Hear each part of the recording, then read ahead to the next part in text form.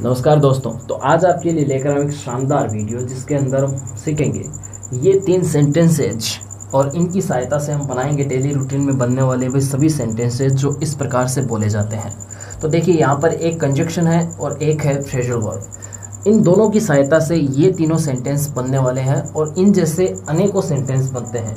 तो चलिए सीखते हैं कि किस प्रकार से इन दोनों कंजक्शन और फ्रेजल वर्ब की सहायता से इस प्रकार के सेंटेंस बनाए जाते हैं। मैं हूँ भवानी सिंह राजपुरोहित, आप देख रहे हैं KPC the five elements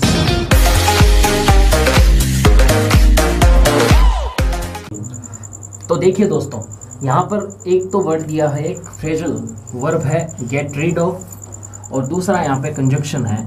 in order to यहाँ पर इन ऑर्डर टू का मतलब होता है के लिए। और गेट रीड ऑफ़ का मतलब है से। छुटकारा।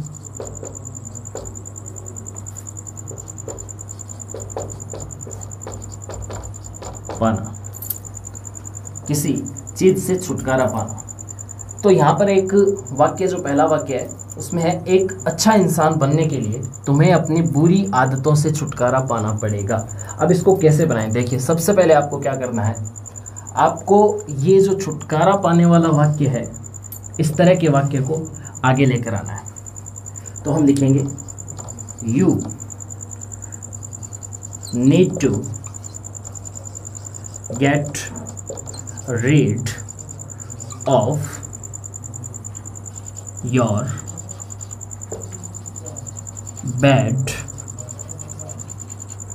habits अब लगाएँगे conjunction in order to become a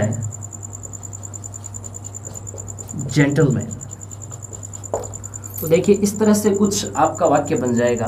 You need to get rid of your bad habits in order to become a gentleman अब अगला वाक्य भी देखो इसी प्रकार का है कि एक सफल व्यापारी या सफल व्यवसायी बनने के लिए तुम्हें अपनी कमजोरियों से छुटकारा पाना पड़ेगा। तो यह भी इसी तरह से बनेगा। You need to get rid of your weaknesses in order to become a successful businessman अब हमने अब तक दो वाक्य बना लिए अब ज़रा आप वीडियो को पॉज करके ये तीसरा वाक्य बनाने की कोशिश करें। और बनाने के बाद में देखें क्या किए, सही किया या नहीं किया। तो देखिए, अब हम बनाते हैं। एक विश्वास पात्र दोस्त बनने के लिए तुम्हें अपने झूठेपन से छुटकारा पाना पड़ेगा। तो देखिए। You need to get rid of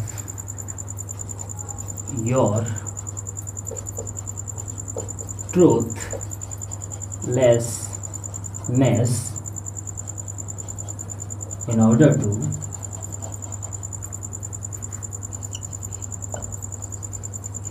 become a faithful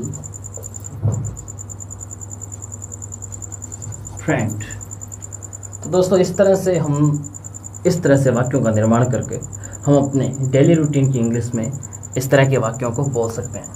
अगर वीडियो अच्छा लगे तो शेयर कीजिए कमेंट कीजिए लाइक कीजिए और चैनल को सब्सक्राइब कीजिए। Thank you so much